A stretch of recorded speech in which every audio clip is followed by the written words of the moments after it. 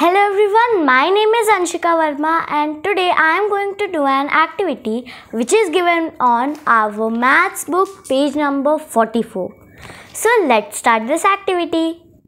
So this is our activity and this is my book. Here it is written, here is a rectangle of area 20 square centimeter and I have also drawn a rectangle of area 20 square centimeter. We have to do these three questions.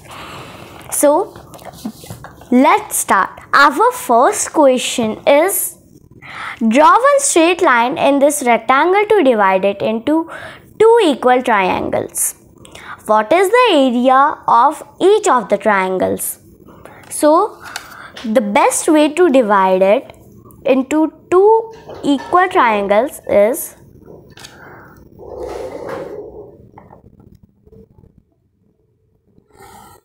like this. Here we are having two equal triangles. Now we have to find the area of each triangle. So as we know that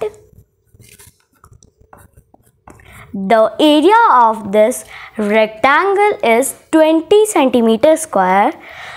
So this is very easy that we have to do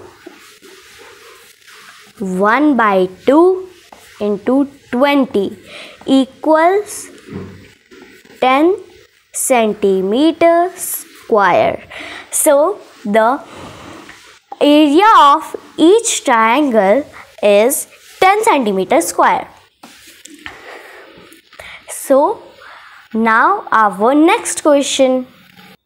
So the next question is draw one straight line in this rectangle to divide it into two equal rectangles. What is the area of each of the smaller rectangles?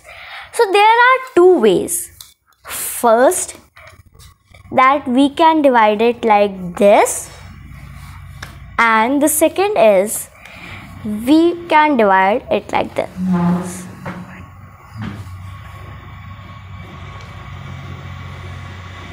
Here I have divided it. Now we have to find the area of these smaller rectangles. So once more I am multiplying 1 by 2 into 20 is equal to 10 centimeter square. So let's move to our next question. Our next question is draw two straight lines in this rectangle to divide it into one rectangle and two equal triangles.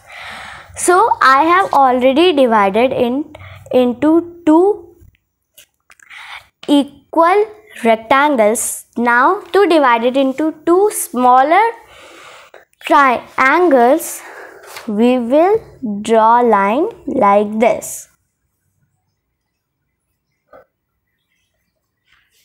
So here we are getting one rectangle and two triangles. Now we know that the area of this rectangle is 20 centimeter square and this smaller rectangle has the area of 10 centimeter square. Now we have to find the area of these two triangles. So we have to do here 1 by 2 into 10 equals 5 centimeter square. So the area of these two triangles is 5 centimeter square. Thank you. Have a nice day.